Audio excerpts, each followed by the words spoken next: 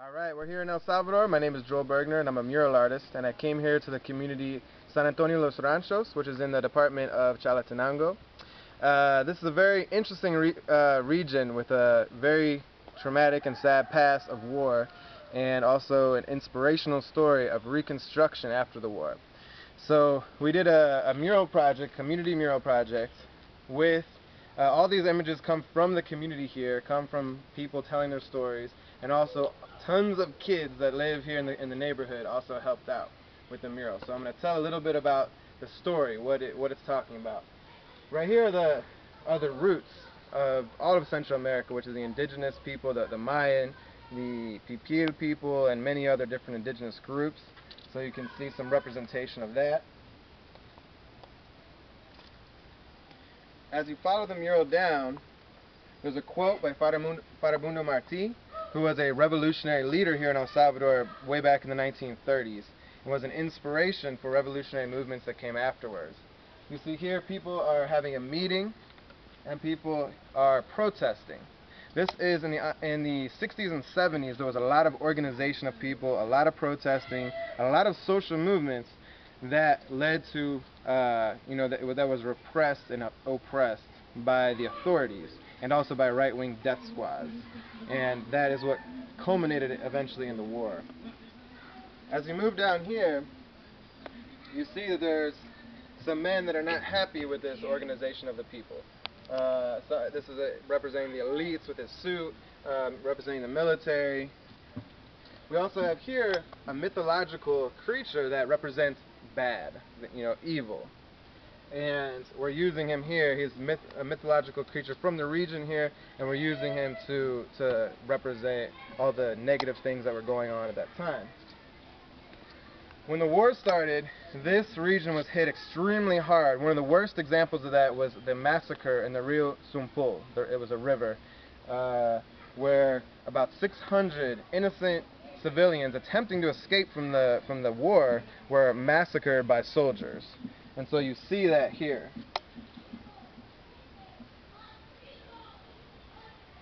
It was one of the saddest chapters. Uh, so it was so bad that many of these communities were abandoned and people fled to um, to camps, refugee camps in Honduras. Um, as we move on down, you see there's a, a man here with a it says USA. He's an American officer. There's a lot of American officers here training the Salvadoran uh, forces who were doing these massacres. That's an important aspect because the American government and the American, American military were in full support of what was going on, which is important to know. We have a quote here talking about everything I just said by the woman who lives here in this house, who lived through all this. So she has several quotes in the mural talking about what was going on at that time. And here, as I said, they went to refugee camps so down here on this part,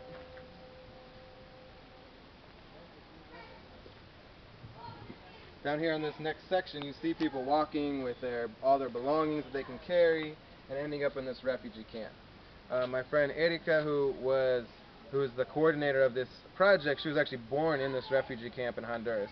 They lived there throughout the 80s uh, for, for many many years, but decided to come back and reconstruct their town even though the war was still going on.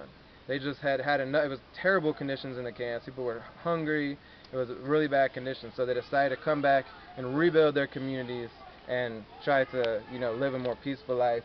Um, another quote here saying that, you know, people try to steal the peace from them, try to, you know, put put them in exile from their from their communities, but they demonstrated that they were good enough to, you know, to come back and, and live. So this section down here, this represents the reconstruction. So you see people building, people working, kids, elderly people, you know, men, women, everybody came back and rebuilt everything from scratch, which is really, really an amazing story, and that's one of the inspirations for this mural.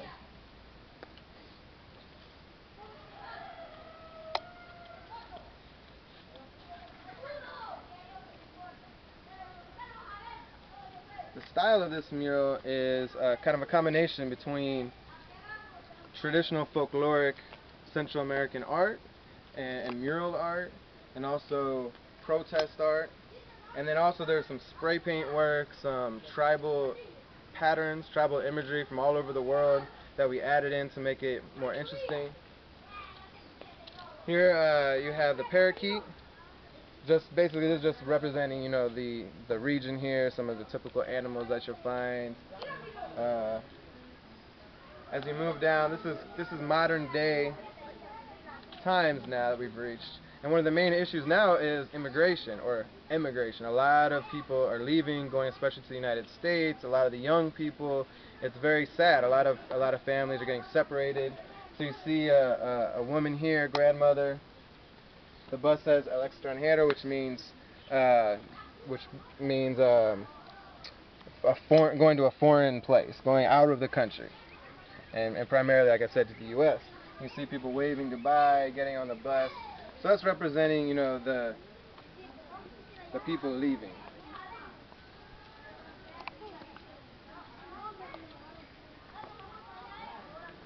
Uh, once again, another quote here, talking about how a lot of people lost their lives, how the war is very difficult, and even a lot of people left because of migration, but there's still a lot of people here, and they're continuing to struggle and continuing to live.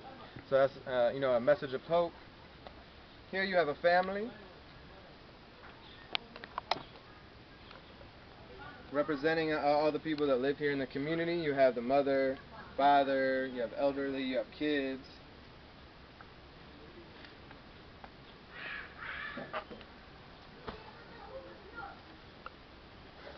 The process of this mural was, uh, you know, we all came together. We decided what was going to go in there, everyone in the community. Um, and once we decided that, I drew everything up so that the kids could paint it all. And when the kids had painted everything and we did that that um, stage of the mural, then I came back with some of the other adults and we did some of the detail, some of the more you know skilled work, I guess. Uh, this right here is an animal that's typical to this region as well.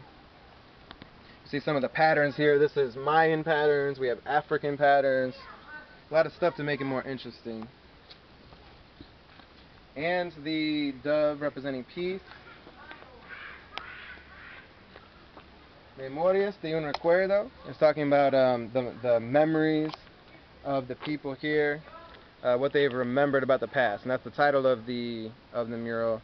And it has all the different kids and adults and people in the neighborhood that collaborated with this for telling the story, for painting the mural, and everything. So all that information is here, so everyone remembers who it was that, that did this.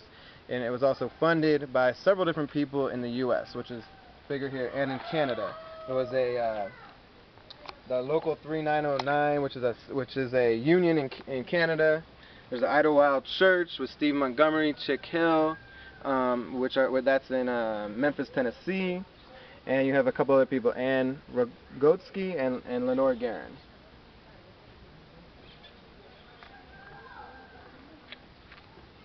So that's it. I hope you've enjoyed the mural. And once again, my name is Joel Bergner.